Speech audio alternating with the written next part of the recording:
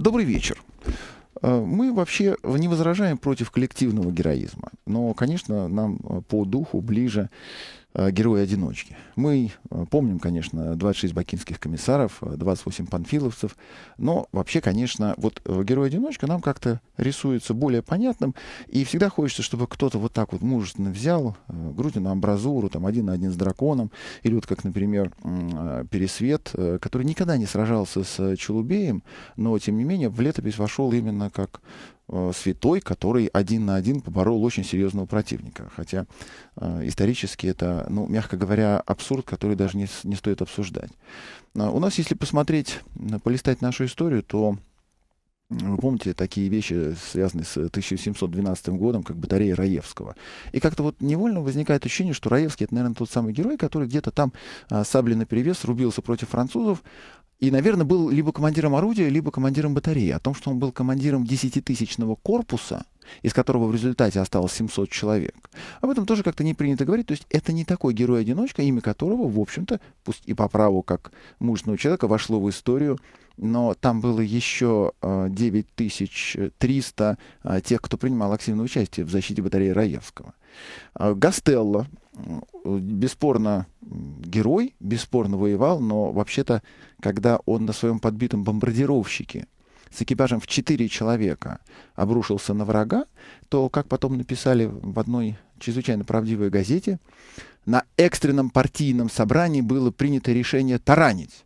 Представляете себе, да, 41 год, подбитый бомбардировщик, который повис на заграждении ПВО, причем они шли звеном, их было всего лишь двое, без прикрытия, без истребителей они шли.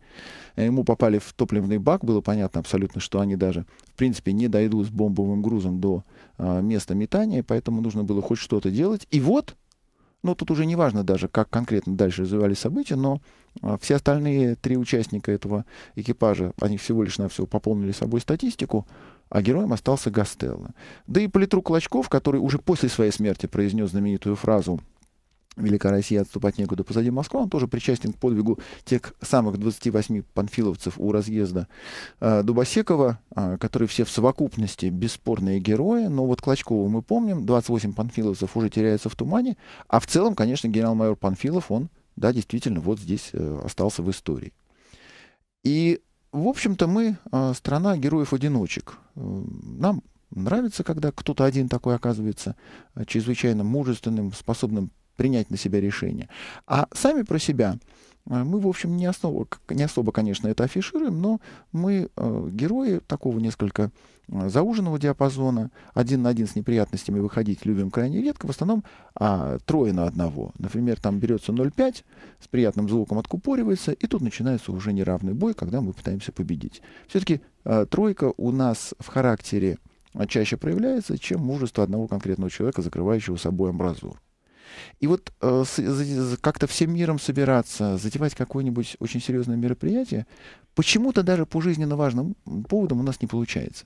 Иногда возникает какая-то ну, однозначная ситуация, требующая, ну, чтобы всем миром, ну, чтобы взялись. Не, не получается.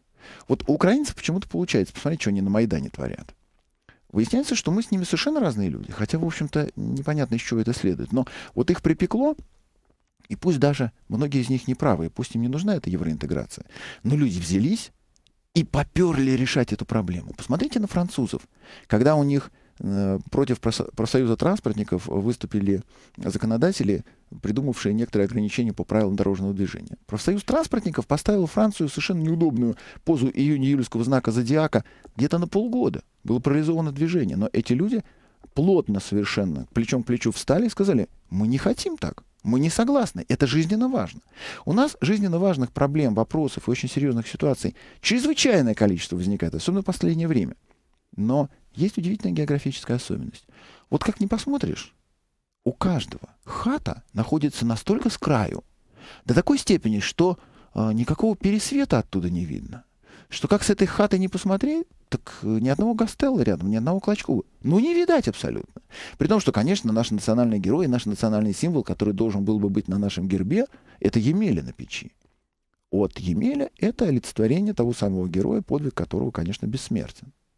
Итого, вызовов времени очень много, реагировать мы на них не собираемся, и это нормально для а, той социальной группы, которая называется обыватели. Обыватели — это чуть-чуть выше, чем быдло. Быдло — большинство. Вообще вот это стадо обывательское, оно во всем мире абсолютно одинаковое. С какого боку не зайди, это не зависит абсолютно от денег, от страны, от э, общественно-политического строя, ни от чего не зависит. Стадо, оно стадо и есть, причем у млекопитающих у них количество особей, задающих тон и уровень развития всего семейства, сообщества, вида, социума или группы не превышает 4%. Еще 2% это инертные, не определившиеся и ни вашим, ни нашим. Соответственно, 94% это как раз вот то самое общество, которое иногда называется стадом, иногда называется быдлом, иногда называется электоратом, иногда называется народом. Причем вне зависимости от страны. И американцам повезло от лица одной чрезвычайно жирной негритянки сформулировать постулат этой социальной группы, которая, повторюсь, во всем мире абсолютно одинакова. Нью-Орлеанское наводнение 2005 года, CNN показал кадры здоровенной бабище, такой, на которой не то что пахать, на ней даже плыть можно через Тихий океан, и она орала э, истерическим голосом, где все те люди, кто обязан меня спасать? Вот эти люди, они как раз прекрасно у, у, и в нашу доктрину, чисто русскую, где тот герой, который придет и за меня все сделает. С сегодняшнего числа, с 25 декабря, в Москве большое горе. У нас ввели зону платных парковок, расширив ее теперь уже до пределов Садового кольца. И понятно, что дальше они не остановятся, дальше будет платной вся Москва. Но есть референдум, он должен 140 тысяч подписей собрать, и тогда, может быть, будет какое-нибудь недостаточно честное, недостаточно праведное, но тем не менее обсуждение этого вопроса. Стартовал уже э, сбор подписей. Уже волонтеры пошли по общественным местам, уже они стучатся в двери, они заходят в супермаркеты, они уже отрывают людей от покупок э, того самого 0,5, который делится на троих, дергают за рукав, объясняют, о чем речь, и, и на вчерашний день они собрали тысячу подписей. Из 140 необходимых тысячи подписей уже набрано. Вот как далеко находится хата. И ощущение, что да ладно, это же касается кого? Ну, те там в центральном округе, а там же жлобы на Мерседесах. А кто там вот не хочет платить? Да посмотрите, у каждого второго Майбах. Там же нету практически вот нас, пролетариев, честных своим трудом на сданной бутылке купивших ВАЗ-2106. Нас это не касается. Но болезнь не нашла своего героя. Вот нету этого героя, нету того человека, который пришел и за всех все сделал. Хотя в этой ситуации да нам даже бы Навальный сгодился. Пусть Навальный пойдет, что-нибудь за нас сделает, кому-нибудь там Кузькину мать покажет, опять какой-нибудь компромат найдет. Мы его потыкаем физиономией в содеянное, скажем, ну ты был, конечно, старик неправ, ну ладно, все нормально, разойдемся пить на троих, а ширится растет заболевание. Героя-то нету. И поэтому сначала за, предел, за пределы бульварного выплеснулось до Садового. Смолчали? Смолчали. А что там в Подмосковье сейчас происходит? А там уже одна частная структура, занимающаяся извозом по рельсам, говорит о том, что а давайте-ка мы сделаем тут вокруг нас платные парковки. И сделают. А еще что? А еще, пожалуйста, то же самое в Санкт-Петербурге. Уже разрешено. Уже можно. А еще на Кубани, Краснодарский край. Там тоже замечательно совершенно сидит Ткачев, по которому тоже много чего позволено, в том числе персональное законодательство. И вот уже результат. Там тоже разрешены платные парковки. Чисто экономически это оптимальный вариант гоп-стопа. Работать не надо, ничего не надо. Заводы не нужны, фабрики не нужны, даже нефть не нужна. Ведь нефть нужно добыть, нужно как-то попытаться с ней что-то сделать, попытаться ее засунуть в трубу, по трубе отогнать за рубеж, получить деньги. При этом еще, если можно, через офшор. Трудно. А здесь ничего не надо. Вот просто как соловей-разбойник вышел на дорогу и сказал, ребята, ну-ка быстренько. И ребята, ребята посмотрели, а где герой? А где тот, кто должен нас всех спасти? Нету, да? А, ну вот, да, но это же неизбежно. Ну в Европе же так. Мы же, конечно же, не Уламбатор, не Пхеньян, не Магадишу. Конечно, мы же, мы же Берлин. Да, точно, мы Париж. Да прям как выйдешь, посмотришь вот где-нибудь там с какой-нибудь станицы, Догадайся трех раз. Кущевской. Точно Париж? Ха, Тёма Кола. Яка гарна Парижщина вокруг. Конечно, заплатим. А как же иначе? Мы ж так любим. А, собственно, нам по заслугам. Не хотим? Не делаем? Не дергаемся? Хата с краю. Оккупант пришел на землю. Ему все можно? Так пожалуйста. А куда ключи от города-то принести? Покажите. Причем Лица мелькают, и те, кто придумали это на сегодняшний день, завтра уже кант небытия даже в истории, может быть, не останутся. А парковки платные по всей стране. А героя-то нет. Вот так вот доигрались. Проведем голосование. Я хочу узнать, я один такой напуганный в ожидании героя или еще есть кто-то? Вопрос следующий. Платные парковки выйдут за пределы Московской кольцевой автодороги и накроют страну.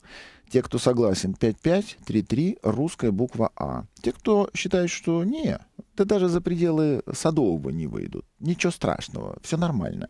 5533, русская буква Б. Голосование начинается. Посмотрим, сколько еще таких, как я, вздрагивающих. Ситуация на дорогах стандартная. Наш лось второй вечер подряд упирается рогами в стоящий на отметке в 9 баллов город. Mail.ru позиция такая же. Город стоит в унисон с лосем, но баллов уже 10. 65, 10, 996. Начинаем покупать себе новенькие автомобили. Здравствуйте, Руслан. Здравствуйте. Сергей. Здравствуйте. Скажите, а парковки дело праведное? Так и надо стране? А, ну, когда залазит в карман, я думаю, что это дело неправильное. Ну почему? А вы разве со мной не для этого? Податное население, что нам? Ну, тут тем более 80... Ну, да, а там какая разница, сколько кому платить? Этому оплатим, этому. Я думаю, что, скорее всего, через год введут налог на воздух, и мы будем платить за то, что дышим воздухом. Нет, просто сейчас ведут налог на электричество, который называется социальные нормы, налог на воду, они же социальные нормы. На воздух тут очень просто сложно э, как-то пытаться его дифференцировать и объяснить, хотя, если вы помните, в истории нашей страны был налог за то, чего нет. Он назывался налог на бездетность. Если у тебя нет детей, то ты платишь больше, а если у тебя дети есть, черт с тобой, живи. Ну, в любом случае мы будем платить очень много и всем подряд. Да. В любом случае мы же, у нас хата с краю, мы обыватели, соответственно, мы должны платить всем. Вне зависимости государственное это подразделение или структура, или коммерческое. Самое главное, что нас поставили перед фактом. И этот факт мы должны исполнить, потому что мы истинные граждане Российской Федерации. И цивилизованные люди, а признак цивилизованного конечно, человека это конечно. то, что ему рассказывают сказки, что он как в Париже, как в Нью-Йорке, как в Лондоне, поэтому он кивает головой. Им очень плохо, у них безработица, у них там, по-моему, нищие в ящиках каких-то живут. Да, и не доедают американские рабочие, пусть они нам да, пришлют, а мы что не на доедают. машинах, поэтому мы должны поделиться со всеми э, как бы своими э, денежными средствами, заработанными кровью, потом, там, я не знаю, нервами. Не-не, мы украли. Мы украли. Мы укра... А, точно. мы украли. Мы все украли, оказывается. Бюджетные машины это украденные из бюджета. По пол лимона и вперед. Да, причем это не машины, это на самом деле просто картонные коробочки, которые нам дают за безумные деньги. Мы на них ездим, и у нас все хорошо. Ну, при том, при всем мы должны платить за стоянки, мы должны платить за парковки, мы должны платить за дороги, которых у нас нету, э, мы должны платить всем и все. А... Это, это как бы априори. Тут даже на самом деле нет смысла об этом задумываться, потому что мы должны. А пацаки должны цаки надеть и радоваться. Да. Я думаю, что в 2018 году мы наденем все колокольчики и будем уже ходить с ними. А юбилей 17 -го года отметим? А, ну, тихо на кухне. Mm, ну да, в общем, может быть, такой вариант тоже вполне допустим. Сергей, да. два вопроса. Один шкурный. А, я с вами общался, на самом деле а, рассказывал леденящую душу историю, как я покупал для своих знакомых новую Honda CRV. Да, после вот. чего вы всех бы... косвенно призвали к эмиграции. Да, да, да, да, косвенно. Ну, я не хотел, я просто был в эмоциях. Естественно, я призвал всех выехать с этой страны и машины больше вообще не покупать. И колбасу. И колбасу тоже не покупать. Надо нам на хлебе с водой жить. это на самом деле, я думаю, к 2030 году это самое ну, то, что нам планируют. Вот. А, первый вопрос – это, соответственно, ваша характеристика данного автомобиля Honda CRV а, двухлитровая на пятиступенчатом автомате. А, ну, это как бы одну минуту с вашего эфира, если возможно. А второй вопрос следующий, более серьезный. Я хотел бы на самом деле задать следующий вопрос по поводу героев.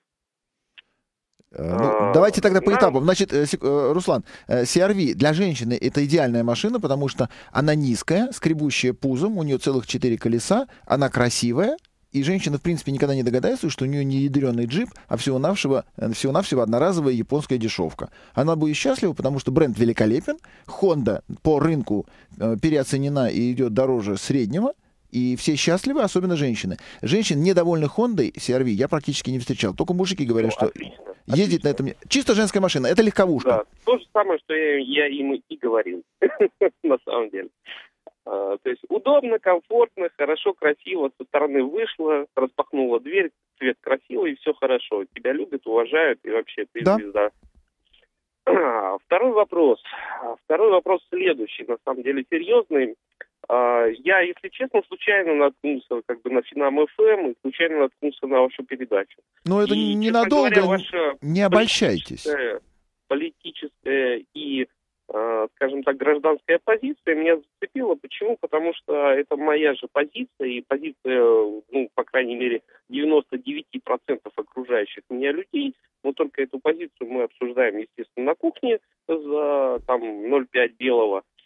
Вот. А вы эту позицию обсуждаете открыто в эфире для большинства электората. Я надеюсь, Ходорковский не для вас освободил место. Вот. Поэтому, ну, я в этом бы, не уверен до конца. Поэтому вопрос следующий. Разговаривать в эфире это хорошо. А, как бы показывать э, вот эти кости, да, прогнившие в нашем обществе, да, и как бы э, доказывать этому обществу, насколько она прогнила, это тоже хорошо. Но конструктива я в этом не вижу. Поэтому, как бы, мое мнение следующее – а не хотите ли вы стать героем? Посмертно? Запросто. Уже Нет, предлагали. Зачем посмертно? Я не предлагаю посмертно. Я предлагаю следующим образом. А, есть определенный круг электорат, да, который вас слушает, и вы как бы выдвигаете те идеи, которые людям мусолят простые обыватели у себя на кухне. Но, к сожалению, как бы простой обыватель всегда сталкивается с тем, что ему дают по шапке, и он уходит, он не публичный человек. А вы как бы непосредственно являетесь публичным человеком. Поэтому есть конструктивное предложение. А почему бы вам да, на сегодняшний момент не создать, там, я не знаю, партию, ассоциацию, там еще что-то, да? А люди, которые поддержат вас, а, я думаю, найдутся. А денежные средства, да, если, допустим, Сергей Слобян скажет, что мне нужно там, с каждого, ну, грубо, там по 5-10 тысяч рублей, я думаю, что найдется очень много людей, которые вам верят, да, и которые эти деньги вам отдадут. Для того, чтобы как бы в этой стране э, здесь можно пикнуть, потому что хотел сказать нехорошее слово, но я не буду его говорить. Нужно что-то менять. А оппозиция на сегодняшний момент это просто смешно. Это клоуны, которые в цирке. В цирк уехал, клоуны остались. А почему бы вам на самом деле не перестать заниматься, а, скажем так, а, чуть-чуть а, деятельностью, которая а, для вас, а, для вашей логики, для вашего мировоззрения и для вашего, ну, грубо говоря, мозгов, да, уже чуть-чуть э, ниже, да, ну не то, что ниже, а, скажем так, вы намного можете сделать больше. То есть, грубо говоря, объединить этот электорат, Руслан, на самом деле вы призываете меня к переходу в другую профессию, потому что политика это да, тоже профессия. Да, да, абсолютно. Я вас призываю к переходу в другую профессию. И при том, при всем, я понимаю, что есть очень много людей, которые вашу позицию поддержат и будут э, с пеной у рта ее отстаивать. Знаете, не пойдут. Но... Поддерж... Поддержат ее э, гораздо меньше, чем кажется. И, а, э... Вам так на самом деле кажется. Вы можете на сегодняшний момент вместо опроса, нужны платные парковки или нет, или там э, Собянин нам нужен или нет, э, поставить такой же опрос, поддержит Сергея Слобяна или нет. И вы посмотрите количество голосов, которые к вам придет. Согласитесь, Руслан, несколько странно, э, когда человек с армянской фамилией становится таким а, символом я русской сам, борьбы. На самом деле, чуть-чуть, э, честно говоря, я русский по происхождению, да, и фамилию с армянским Ян, вот, я всегда с опаской воспринимаю. Правильно Но, делаете. Но на самом деле, э, скажем так, э, исходя именно из а, ваших высказываний и из вашего мнения, да, по сути дела, вот это Ян у меня теряется, оно... Ну, теряется не только Ян, перерыв на новости. Продолжаю опрос. Платные парковки выйдут за пределы не то что Садового кольца, не то что МКАДа. Они накроют всю страну. 5533А. Платные парковки — это, во-первых, нормально, во-вторых, они останутся локализованы в пределах Садового кольца, и вообще москалям клятым вам так и надо. 5533, русская буква «Б». Руслану отвечу. А, понимаете, какая штука? Почему в нашей стране нет оппозиции? Потому что ей всегда мешает внутривидовая борьба. Вот если бы, э, обратите внимание, вот кошки, они друг с другом постоянно дерутся. Кот коту с утра до ночи э, бьет морду и пытается выцарапать глаза. У них есть внешние враги собаки. Если бы собаки не жрали котов, а они это делают, то, в общем-то, конечно, и врагов бы не было. Враги есть. Кошки могут объединиться против собак. Ведь угроза внешнего врага в виде собак, она уничтожает часть особей этого вида. Это серьезно, это сокращает ряды. Но вместо того, чтобы коты объединились бы, мужественные борцы, и пошли бы, надавали тумаков собакам, они предпочитают драться друг с другом. Внутри видовая борьба не позволяет. Единственный пример, когда оппозиция в нашей стране сформировалась, он пришел из-за рубежа. Когда на немецкие деньги у нас товарищ Ленин оказался вдруг чрезвычайно сильным оппозиционером. Причем очень сильным и могучим. Причем настолько могучим, и он создал настолько мощную партию, э, которая, в свою очередь, сделав государственный переворот, кстати, контрреволюционный, создала со временем даже свою армию, и это могучее явление, подрывное, оказалось мощнее, чем э, достаточно умный Деникин. И Деникин не пошел к Колчаку. При, то, при всем при том, что, в общем-то, только это могло и спасти белое движение. Но даже не будучи серьез э, антагонистами друг с другом, потому что Колчак и Деникин, в общем-то, не делили престол. Но каждый из них считал себя в силе и вправе прийти в столицу первым. И ведь большевики, они уже проигрывали. И в 1919 году было предложено провести на нейтральной территории под эгидой Америки переговоры о капитуляции красных перед белыми. Но Деникин сказал, нет, я их сейчас разобью, и все будет в порядке.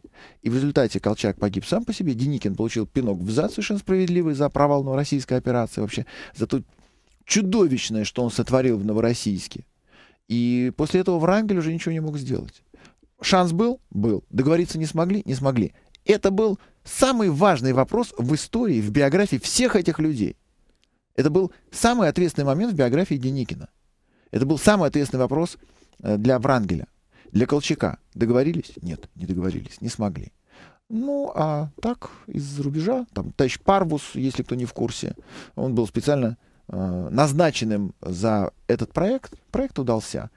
И поэтому рассчитывать на то, что, тем более, какой-то журналист, э, имеющий локальную э, привязанность определенной части аудитории в состоянии что-то изменить? Да, конечно. Знаете, как минимум позволяет посмотреть на ситуацию чуть-чуть более открытыми глазами, и какой-то части людей вдруг обнаружить, что не он один у себя на кухне так думает.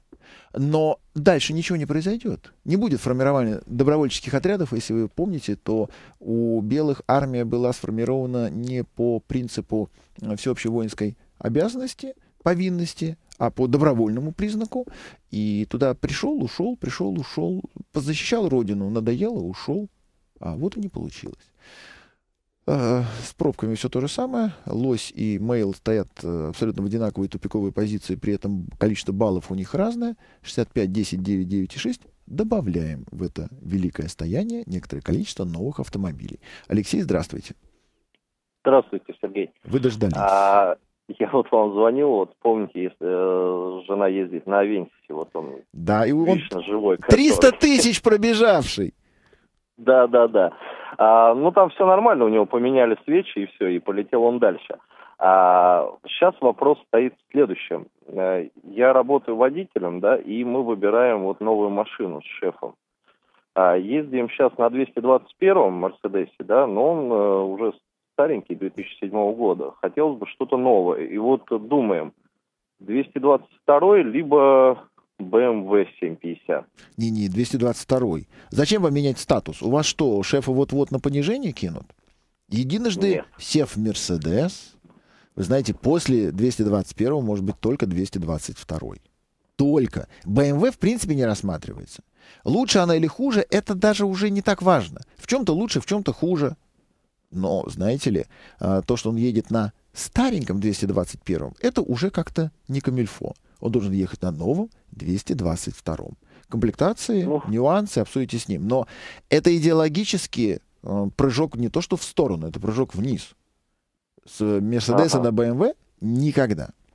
С BMW на Мерседес, да, возможно. Обратно нет.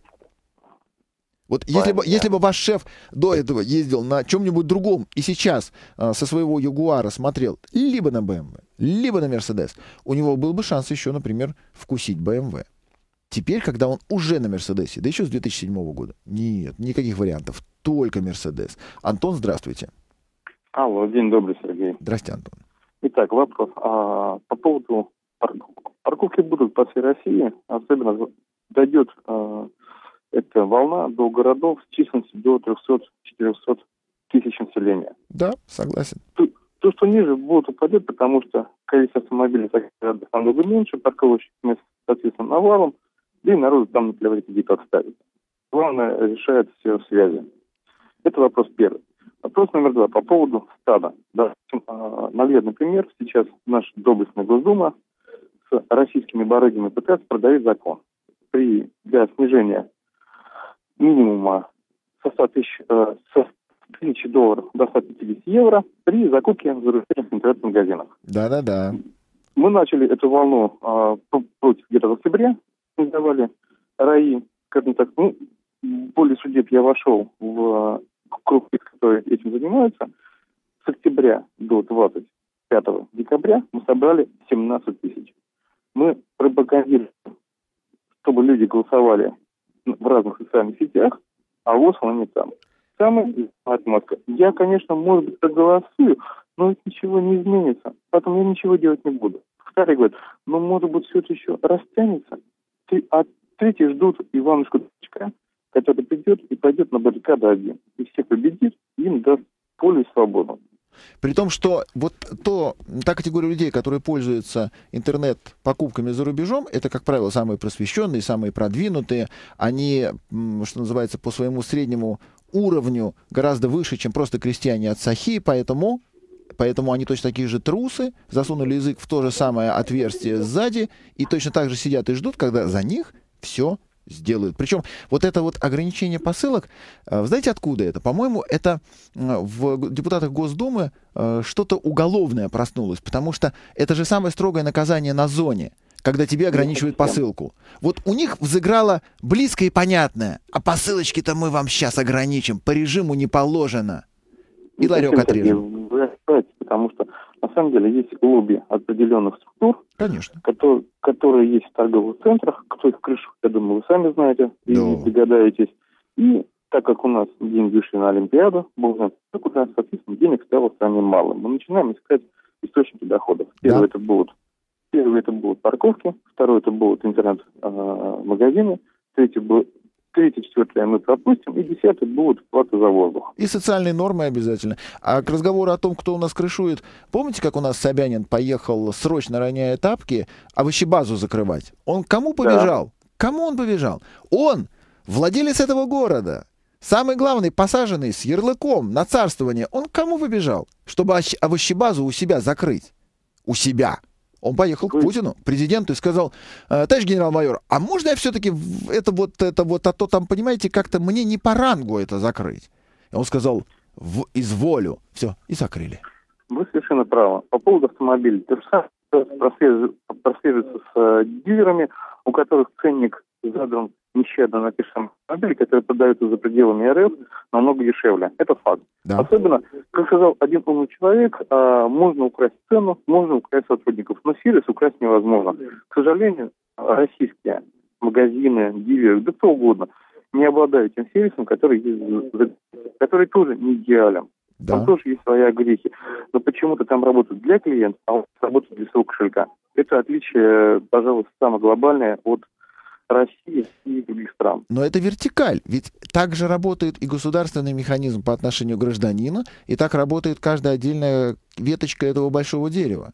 Неважно, это ЖКХ, поликлиника. У нас пациент для вра- врача или врач для пациента. А что вы здесь стоите, не мешайте мне работать? А насколько лишние ученики в школе? Вот настолько же лишние больные в больнице, настолько же лишние клиенты в сервисе. Вы что сюда приперлись со своими машинами? Деньги дай и отвали. Это нормально. Совершенно верно. К сожалению, не являюсь э, большим поклонником СССР, но тем не менее склоняюсь к мысли, что Сталин все-таки был деятелем, который мог вытащить страну. К сожалению, в нашей действительности такого деятеля уже нет. Ну, и в ближайшее время не будет. Знаете, э, может быть, к сожалению, сейчас выяснится, что один из деятелей как раз такой же. Но результат будет кровавый, КПД ниже. И кровь она все-таки избыточна для достижения тех результатов, которыми сейчас хвастаются поклонники Сталина. Тут с вами не соглашусь, потому что, знаете как, э, я очень хорошо помню свое старшее поколение, жившее при Сталине. Это слишком, слишком серьезный ужас, чтобы э, хоть что-то позитивное находить в том периоде нашей страны. Это слишком ужасно, это слишком трагично. Перерыв на новости. Илья пишет на сайт. А давайте дальше, как предлагает мэр, двигаться к Европе. Следующий шаг – уничтожить ведомственные парковки в центре. Ну а потом мэрию под суд за коррупцию. Мы же в Европу хотим. В Азии это разговор короткий, очередь из пулемета. Илья, Аплодисменты, вы молодец. Анна пишет, добрый вечер. Предстоит парковаться в центре, в пределах Садового кольца. Если скрутить номера и положить их в багажник, какой шанс не уехать на штрафстоянку? Анна, правовых оснований для того, чтобы отправлять на машину на штрафстоянку нет, но поскольку вы имеете э, дело с гоп-стопом, то это то же самое, что пытаться по закону разговаривать с бандитом в подворотне. То есть он на вас ножом кошелек или жизнь, а вы ему говорите о том, что э, его предложение неприемлемо. По закону ничего не может быть. Э, в связи с тем, что закон на этой территории не действует, может быть, к сожалению, все что угодно. Э, Елена, здравствуйте. Здравствуйте. Сергей, очень приятно, что женский голос пробился в ваш эфир. Я счастлив. Я тут безумно тоже счастлив. Спасибо огромное за передачу. Сергей, у меня, в общем, такая проблема. Хочу давно с вами посоветоваться лично, хотя читаю вас популярно в Фейсбуке. Скажите, пожалуйста, что мне делать? У меня вот уже трехгодичный рюкзак, трехлитровый двое прекрасных детишек, э, значит, мешок картошки, может быть, позади. Что делать дальше? Я хочу сейчас менять, но очевидно, что пора. Но совершенно сбита с толку, не знаю даже, куда смотреть. На Ауди не смотрю, потому что нам, в принципе, не нравится. Хочется услышать, что же мне делать дальше. Куда бежать, куда смотреть. Елена, а почему вы говорите, что очевидна смена автомобиля? Ну, трехгодичный автомобиль, ну, как-то вот, как-то уже пора, мне кажется, менять. Есть такая некая экологическая тактика в нашей семье, да, ну вот, ну, 3-4 года какой-то такой предельный пик, когда можно как-то не то, что выгодно продать, да, но, собственно, пора бы уже этот, эти сапоги поменять, мне так кажется. Если честно, если честно, я очень разочарована слегка в Мерседесе, вот, откровенно говоря. Ну-ка, ну-ка поподробнее. В чем именно он вас подвел? Ну, во-первых, я довольно очень резво езжу, и, если честно, машину никогда не жалела. Если нужно прыгать через бордюр, значит, я прыгаю через бордюр, да, независимо там от подвески. А, значит, здесь меня сразу смутила коробка, которая совершенно не, резвая, слегка глуповатая. Второе, меня смутила электроника, которая очень категорически быстро улетела. Парктроники и так далее, и так далее. Вот. Сейчас я понимаю, что как-то вот проблема накапливается постепенно, постепенно, с каждым наверное, месяцем, полугодом, а машина будет требовать еще больше вложения. Ну, мне кажется, этого просто не стоит. Еще хочу сказать, кстати говоря, а, мой последний кумир, вы ну, только не смейтесь, это вот именно Suzuki Grand Vitara в старом кузове, да, с, с раздаткой. Вот эта машина-зверь. Мы до сих пор не продали, она у нас третья в семье, мы его переделали, доделали, там подняли, что с ней делали, она нам служит просто верой и правдой, что только с нами не вытворяет. Большое ей спасибо. Она замечательная машина, я всегда продолжаю это говорить. Э, Елена, вы до весны дотерпите за рулем своей развалины? Да, Сергей, до весны дотерплю и жду прямо вашего решения. А вот на подходе к нам такая интересная игрушка ну, да? называется Porsche Macan. Это, это то, что чуть-чуть на полступеньки меньше Каена. То есть Кай... правда, серьезно? Кайен... Не смотрел даже на нее. Кайен это большая штука для мужа, а тем более вы резво ездите, а вот как раз, как раз вот эта штуковина, она чуть-чуть покороче, чуть-чуть поменьше, и вот она уже то, что нужно. То есть эта штуковина резвая, летать она будет как истребитель, но при всем при том, ну, кто может вас упрекнуть в отсутствии вкуса, когда вы едете за рулем такой машины? А детишки, а картошечка, вот это вот все. Э, ну, с вот картошечкой там, конечно, будет э, не особо, потому что немцы до сих пор не знают о том, что картошка берется из магазина. Она, они думают, что она сразу по щелчку пальца в ресторане в тарелке. А дети поместятся, да. Причем дети будут счастливы абсолютно, потому что там будет э, флюшек, финтифлей и финтифлюшек. Очень много. То есть это три разных набора опций. И такие, сякие, и эдакие. Сергей, спасибо. Спасибо вам огромное. Хочу вам еще раз по-человечески вас поддержать. Э, спасибо за вашу позицию. И Кику Руслану скажу хотя бы для начала проголосуйте правильно за мэра, за мэра, дорогие товарищи, нежели делать такие серьезные предложения вот э, таким хорошим журналистам. Спасибо вам большое. Спасибо. Поддержать. Спасибо, Елена. Да, меня, в общем, пристрелят и без Руслана. Алексей, здравствуйте. Здравствуйте. Говорите, Алексей, ваш шанс. Э, Сергей, здравствуйте. Меня интересует э, вопрос по Opel Антаре дизельной. Хватайте, особенно с 2.2. Все что, на, все, что должно было произойти с этой машиной в целях дальнейшего улучшения, произошло. Вот теперь, вот теперь после рестайлинга, это законченный продукт, который не стыдно брать, при том, что цена у него не самая сумасшедшая. Ну, просто э, я несколько дней назад был в Европе, и цена на дизельную Антару там даже выше оказалась, чем у нас. Ну, все. После того, как подобное расположение карт благоволит вашей покупке в нашей стране, необходимо пойти и взять себе Антару. А что еще можно посмотреть? Вот э, аналогичное э, кроссовер э, с аналогичным содержанием на нашем рынке. Вот, из новых автомобилей. Знаете как, вот аналогичное содержание у каждого свое. Аналогично э, склянки с паленой водкой в вашем восприятии что? Шампанское или бренди? Некоторые считают, что не паленая водка. Вообще у Антары прямые аналоги. Это, например, есть такая штуковина, как Mitsubishi Outlander, новая. У них и даже машины где-то близки, э, моторы близки по объему, особенно если брать бензиновые. Но у Антары, у нее все-таки, знаете ли, опелевская андатристость чуть повыше. А Outlander, он некрасив, не угоняем абсолютно, но у него самый большой багажник в классе. Вот если вам нужно будет, как Елене, таскать не только двух детей, но еще и картошку, то как раз у Аутлендера там картошки будет много в багажнике. И еще один маленький вопрос. Как альтернатива рассматривается Кашкай плюс 2 э, в максимальной комплектации. Есть ли смысл заморачиваться и насколько у него живучий э, вариатор? Ну, насколько живучий вариатор зависит только от водителя, больше ни от кого. Э, Кашкай — это полноприводная девятка. Антара — это все-таки кроссовер. То есть легковая машина, но чуть более широким диапазоном.